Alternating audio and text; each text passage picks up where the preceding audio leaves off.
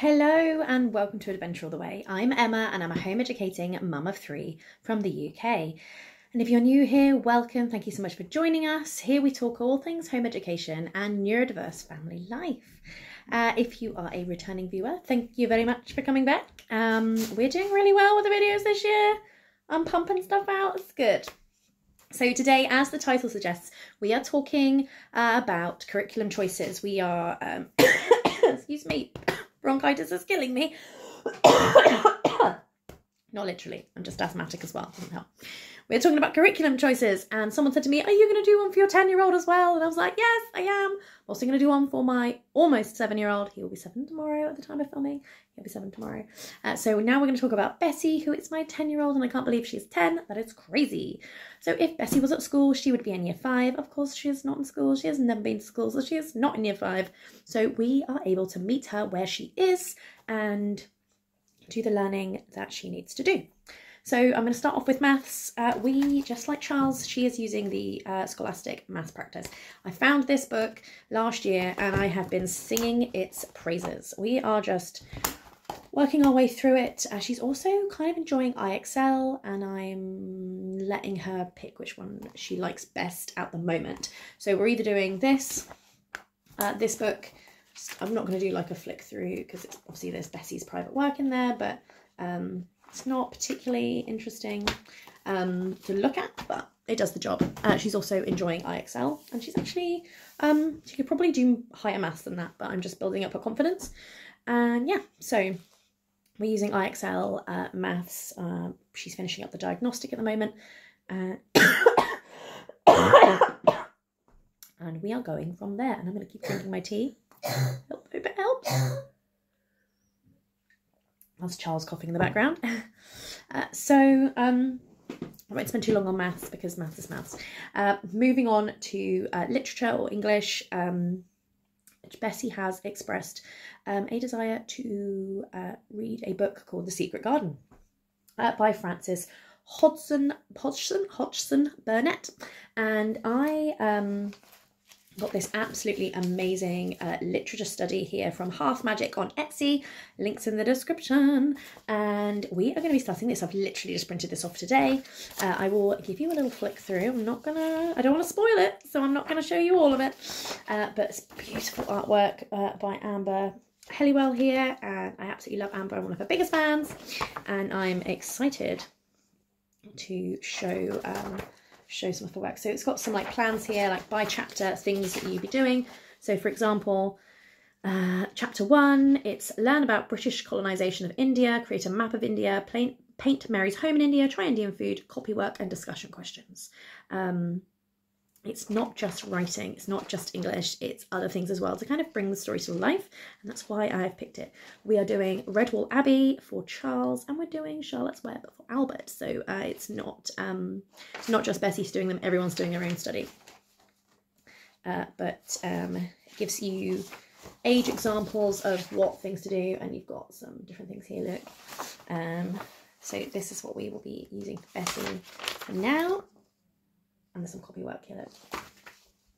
Um, a little bit later on is Paint a Robin from the Garden. So it's a multi-subject literature study uh, that's going to give her some um, literacy, English education, but also bring in other things. So she gets excited about it.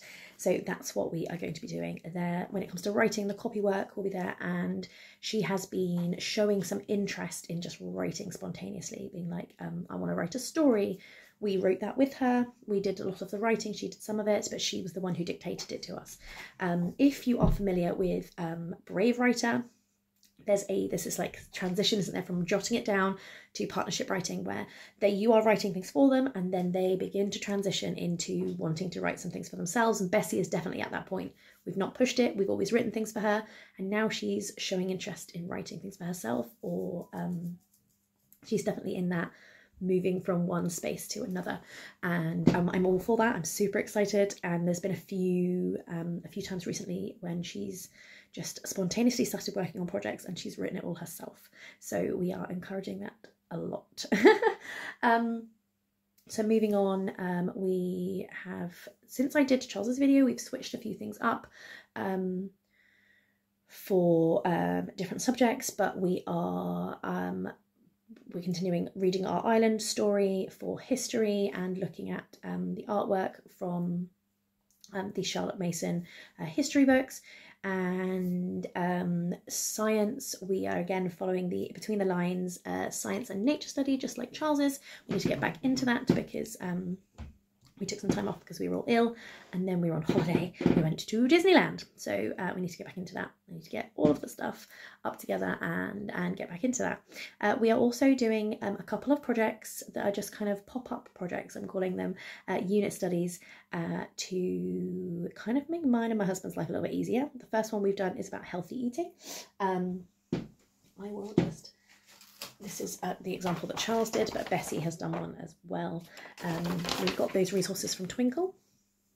and um, uh, we are going to be doing healthy eating, we're going to be doing healthy sleep, and then we're going to be doing about the human body, talking about um, our teeth and our, our, the rest of our digestive system, and we're going to be talking about uh, the benefits of exercise on our cardiovascular system and our respiratory system, and so on and so forth. Uh, just so when we say to the children, "Hey, we need to go out for a walk," "Hey, we need to remember to eat our vegetables," "Hey, we need to eat protein," we can't. You're not going to just ignore the chicken that's on the plate. Um, hey, it's bedtime now. That we're not just saying them because uh, we are trying to ruin their lives. We are actually helping them understand why we're asking those things of them. And I have a big picture up here. I'll just spin you around. Look, here we go. Food groups that um, we have been uh, using. It's, it's we're, I'm sat at our dining table right now, so when we eat, they can see it. And Bessie has been looking at her plate and going, hmm, okay, I have pasta, it's carbohydrate.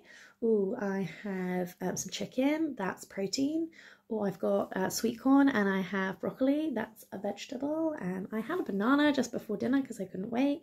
And oh, I'm gonna, oh, the only thing I haven't got, is there any oil or spread in this? Oh, yeah, we used olive oil with the chicken. okay, well, that means I've got that. And then she'll go, oh, the only thing I haven't got is dairy or alternatives. Maybe I'll have a glass of milk when I'm done. And we're like, ooh. um, or she'll say, "Oh, I need a drink because I need to have six or eight drink glasses a day," or she'll go, mm, "That's in the uh, high fat or sugar column, and um, I need to not eat loads of that."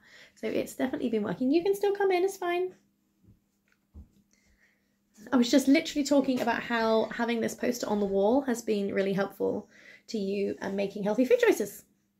Yeah, I was just saying how you were when you're sat when you were sat with your plate that you were then looking up at the poster and matching what was on the poster to what was on your plate, and it's been really helpful. That's what I did at breakfast. I yeah. looked at everything called, picked my favourite things from each category, and just made my breakfast with. I had a thing. What did you have? You're looking at the poster. Did you have fruit or vegetables at breakfast time? Uh, yeah, I, I don't remember what they were. Did you have grapes?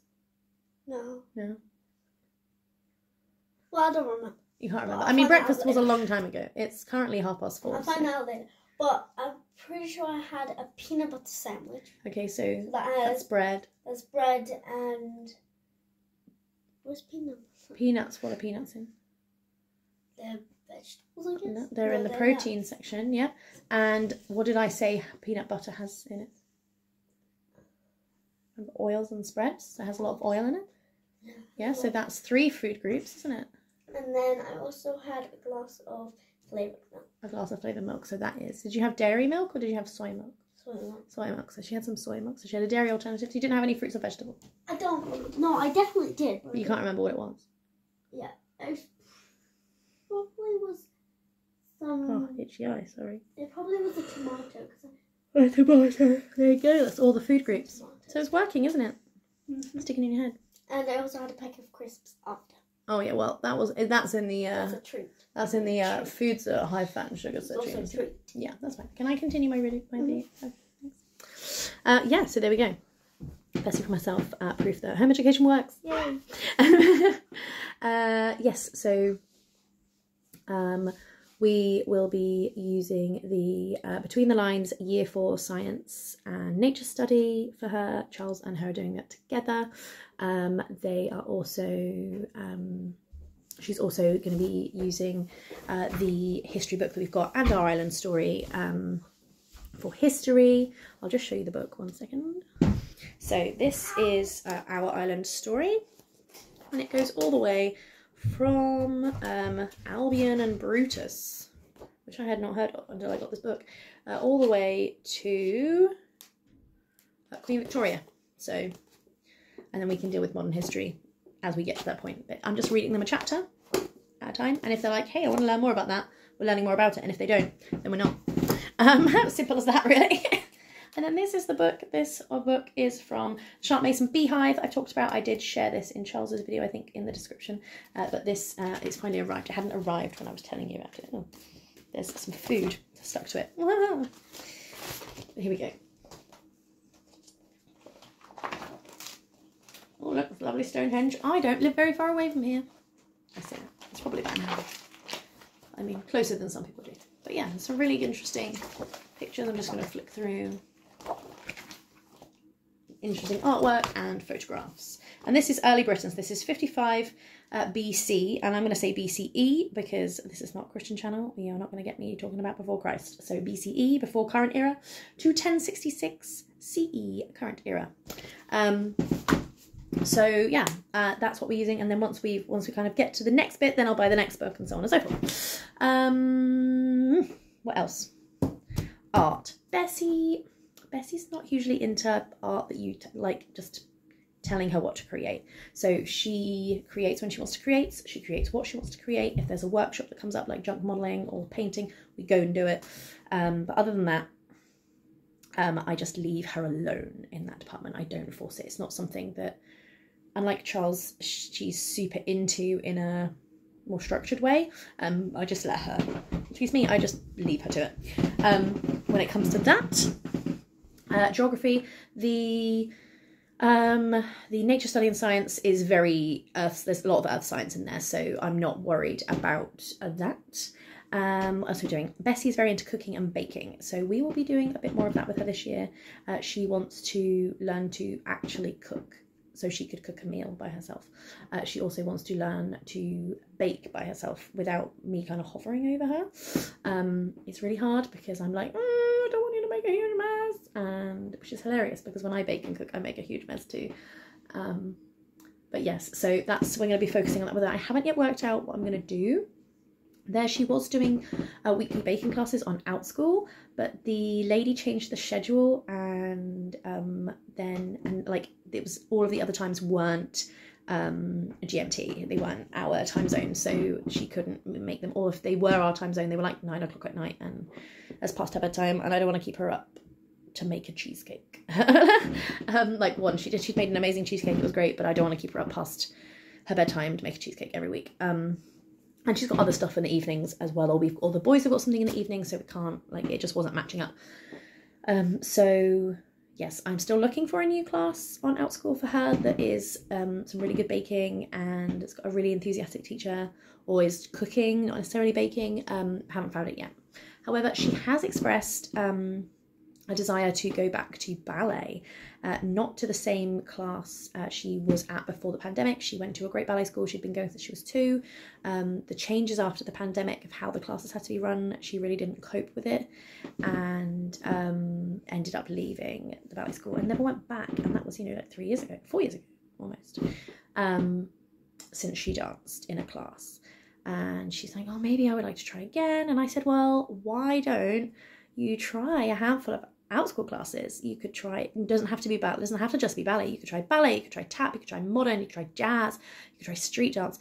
I like sample, we can do like one a week and you can really have a go at all of these different classes. You could try acro, you could try gymnastics, like all of these classes online. Um, because Outschool is great for that.